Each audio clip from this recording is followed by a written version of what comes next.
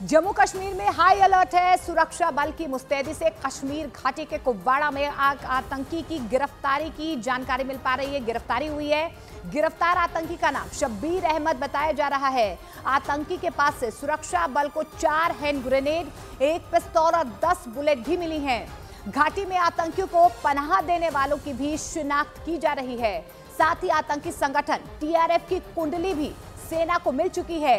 Terror network पर बड़ा पर्दाफाश इस रिपोर्ट में देखिए।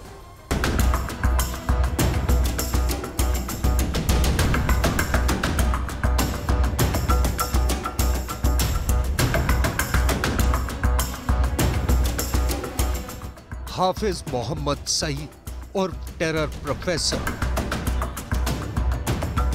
ये आतंकी आका भारत का दुश्मन नंबर वन है। पाकिस्तान में खुल्लम खुल्ला जहर बुझे भाषण बांचने वाला हाफिज सईद लाहौर की मस्जिद में बैठकर खूनी फरमान सुनाता है। हाफिज सईद ने 26/11 जैसा टेरर अटैक को अंजाम देकर पूरी दुनिया को दहला दिया था, लेकिन हाफिज के बनाए और फैलाए आतंकी संगठन लश्कर तैयबा की कुंडली जैसे जैसे खुलती गई। इस आतंकी सरगना ने नए नाम से टेरर गुटों का नेटवर्क खड़ा कर लिया।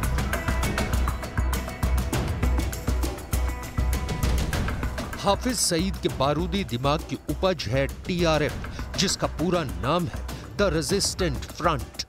शांति का माहौल इलेक्शन से पहले बना हुआ था। काफ़ी दिनों से कोई घटना नहीं हो रही थी छोटी मोटी घटनाओं के अलावा। जब इलेक्शन में बढ़ चढ़ के लोगों ने हिस्सा लिया और वोट किया तो हमारे पड़ोसी देश की नींद हराम हो गई। और जो लोग, जो ग्रुप सिर्फ़ इस बात का एजेंडा जलाते हैं कि भारत का विरोध कैसे किया जाए या भारत में अशांति कैसे पैदा की जाए तो उन लोगों की सस्टीनेंस पे खतरा खड़ा हो गया। जम्मू के रियासी आतंकी हमले की ज़िम्मेदारी लेने वाला टीआरएफ टेरर ग्रुप असल में लश्कर तैयबा की हाईटेक आतंकी ब्रिगेड है। इस टेरर गुट को बनाने की सबसे बड़ी वजह लश्कर के आका हाफिज सईद को पर्दे के पीछे रखने की है। जिसमें पाकिस्तान की कुख्यात खुफिया एजेंसी आईएसआई के जनरलों की बराबर हिस्सेदारी है, जब से पाकिस्तान टेरर फंडिंग को लेकर इंटरनेशनल स्टेज पर बेनकाब हुआ, तब से नए नाम से आतंकी संगठनों की भरमार हो गई। पाकिस्तानी सेना हाफिज सईद की सबसे बड़ी मददगार है, मगर टेरर फंडिंग से हुई बदनामी को छिपाने के लिए हाफिज सईद को नया आतंकी गुट मजबूरन बनाना पड़ा, और इसके बाद पाकिस्तानी मशीनरी की सरपरस्ती में हाफिज सईद ने द रेजिस्टेंस फ्रंट तैयार किया। कश्मीर में आतंकी संगठन द रेजिस्टेंट फ्रंट 2019 में सामने आया।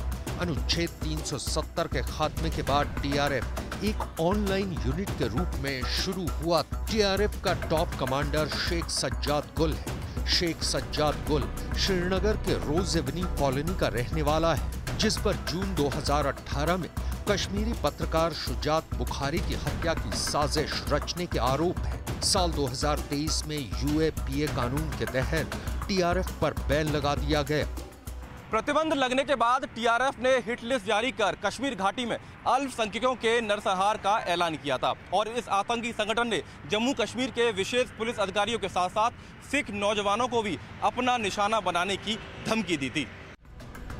टीआरएफ की तरह घाटी में कई आतंकी गुट नाम बदलकर फन उठा रहे हैं, जिसमें जम्मू कश्मीर, गजनवी फोर्स और पीपल्स एंटी फासिस्ट फ्रंट के नाम सेना के हिटलिस्ट में टॉप पर है। गजनवी फोर्स को जैश मोहम्मद से फंडिंग मिलती है। ये सीधे आतंकी हमला करने की बजाय सोशल प्लेटफॉर्म पर आतंकी नैरेटिव सेट करता है और लोगों को भड़काता है। गजनवी फोर्स घुसपैठी आतंकियों के मददगार ओवरग्राउंड वर्करों का नेटवर्क भी तैयार करता है।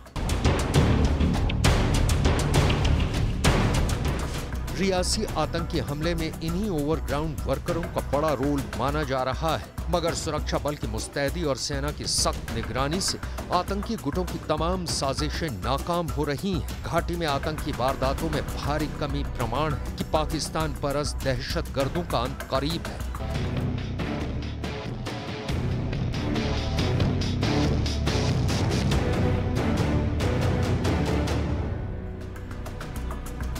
जम्मू कश्मीर में साल 2018 में 228 आतंकी वारदात अंजाम दी गई थी, जबकि 2023 में सिर्फ़ 44 आतंकी हमले हुए। साल 2028 में सुरक्षा बल और आतंकियों के बीच जहाँ 118 एनकाउंटर हुए थे, वहीं 2023 में सिर्फ़ 48 मुठभेड़ हुई।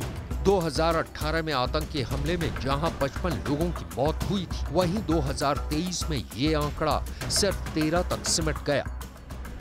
घाटी में पत्थरबाजी और आए दिन होने वाले बंद अनुच्छेद 370 के खात्मे के साथ ही समाप्त हो गए। घाटी में लौटा यही अमन सुकून। पाकिस्तान में बैठे आतंकी आकाओं को रास नहीं आ रहा। हाल ही में हुए लोकसभा चुनाव में हुई बम्पर वोटिंग ने भी पाकिस्तानी सेना और उसके पालतू आतंकियों के लिए ज़ोर का झटका साबित हुआ। जम्मू कश्मीर की शांति और खुशहाली आतंकियों के अंत की शुरुआत है। ज़ाहिर है ऐसे में आतंकी आकाओं की फड़फड़ाहट बढ़ गई है। लेकिन भारत में घुसपैठ करने वाले हर आतंकी की जगह पहले ही तय कर दी गई है। वो है जहन्नुम जम्मू के जंगलों में छिपकर बैठे आतंकियों का डेथ वारंट रिलीज़ हो चुका है। सेना से सामना होते ही दहशत गर्दों को दफन कर दिया जाएगा।